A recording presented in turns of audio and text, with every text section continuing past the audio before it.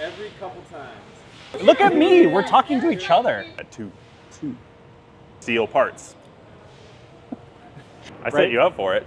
I I whiffed it.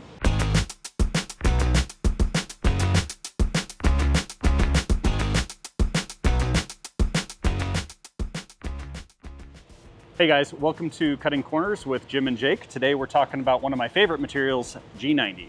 Yep, G90 is just a galvanized coated mild steel. So to get into this, like, what is it? Why is it good? Right? Um, it's basically what it is. It's a hot dipped zinc uh, mild steel. So they just take mild steel at the mill, dip it through hot liquid zinc, it sticks on there. Uh, G90 is called G90. There's actually different G numbers. There's G30, G90, G. Yep. I don't even know. Um, and it that's referencing the thickness of the zinc coating.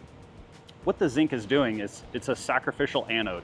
Um, just like you might have on your boat uh, by the motor, there will be a, a zinc anode, and what that does is it it will uh, what does it do?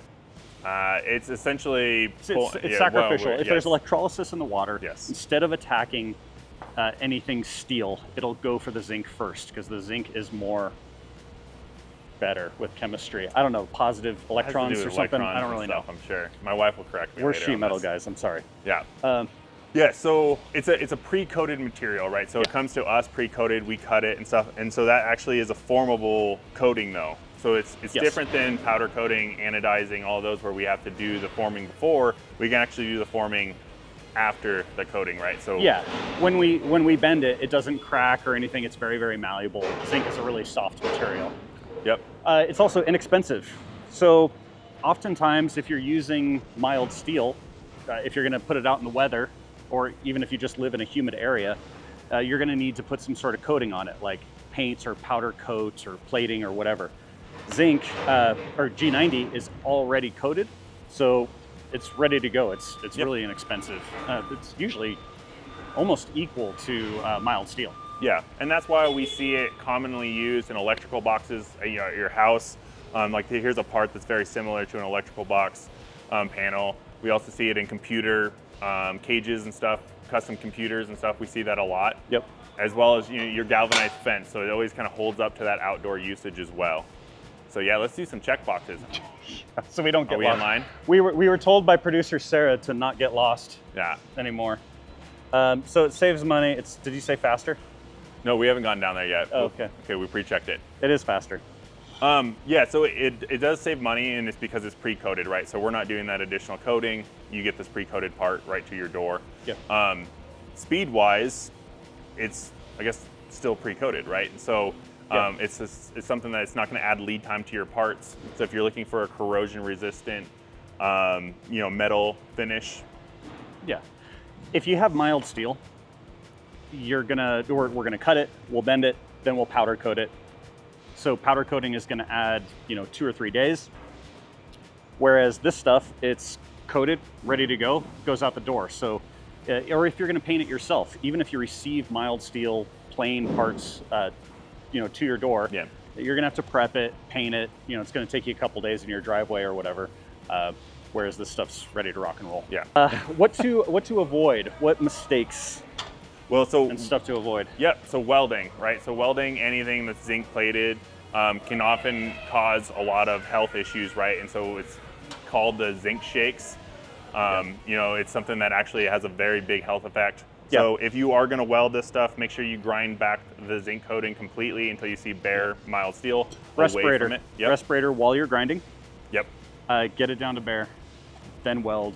Uh, if you are ever welding something and you you'll see these like it's like stringy smoke. It almost looks like spider webs that are floating. That's a really bad sign. Yep. Yeah, don't do that. Yeah. Um, another thing is additional top coatings on this for cosmetic reasons.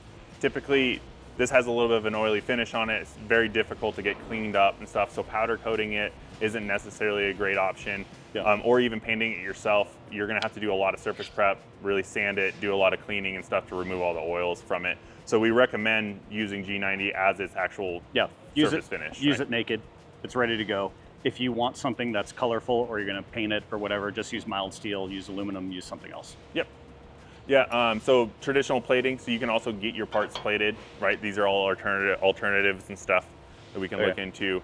Um, you can also just get mild steel and have it powder coated, right? So the powder coating won't be sacrificial, so it's not going to have a long term. If the powder coating fails, it's not going to be sacrificing itself to keep it from rusting. Yep. But you will get that cosmetic finish with the mild steel. Um, so One thing Uh, I want to talk about too is the edge. So at the mill, they take a coil of mild steel and, like I said, they dip it through that hot tank. That means that the surface is coated, but when we go and actually cut holes or cut the edge, that's going to be raw exposed stuff. So customers often write in and they're like, "Hey, is the edge going to rust or are my holes going to rust?" No. Uh, again, it's a sacrificial coating. It attracts all of those electrons or whatever is going to cause the corrosion. Um, so uh, to do a little demonstration, we actually soaked up all of these parts in salt water. Uh, in and out, we did a dip for seven days. Yep. So mild steel here, mild steel, mild steel.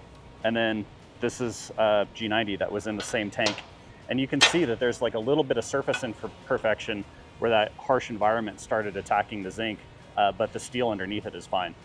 So uh, I think that covers just about everything. Yeah, I mean, so G90 we offer a handful of different thicknesses. We also offer hardware installation, bending, um, so you can you know add a lot of different flavors and stuff to these. Yeah. Um, to make it, we oft, like I said, we often see a lot of computer stuff come through, Yep. cages and stuff. Um, you know, these parts right here are mating parts. I think we might be able to do it in here. So you have an electrical box, just like that. It's super handy, really versatile, inexpensive. Um, give it a try. If you have any questions, hit us up in the comments below, and we'll see you next time. Love you, bye. Love you, bye.